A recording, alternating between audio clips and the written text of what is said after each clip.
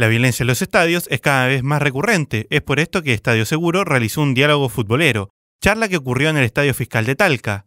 A este asistieron autoridades, dirigentes e hinchas de Rangers.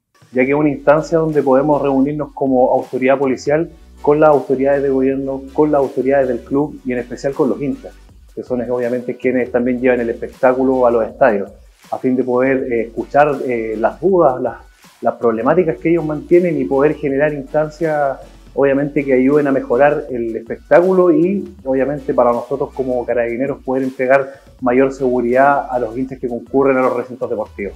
Hemos generado este vínculo, esta coordinación, que no solo tiene que desarrollarse respecto a las semanas o los días previos a un partido, respecto a la autorización que tenemos que sacar nosotros como delegación. Yo creo que este vínculo tiene que ser un vínculo permanente, las barras, los clubes hacen además gestiones sociales, acciones en las cuales nosotros como delegación y como gobierno también queremos participar. El propósito de la charla es escuchar a todos los participantes del fútbol de cómo atacar la violencia en los estadios. Para el diálogo y que el 2023 sea un, un, de partir desde cero y que volvamos a, hacer lo que éramos el cementerio de los no solo acá. Mi experiencia es buenísima en el norte, en el sur, siempre me han tratado muy bien. Y no sé por qué acá no está pasando, tanto con las entradas, con los accesos. Si bien la charla aborda la violencia en los estadios, no solo se centró en eso, sino que también en cómo mejorar la experiencia estadio para los hinchas.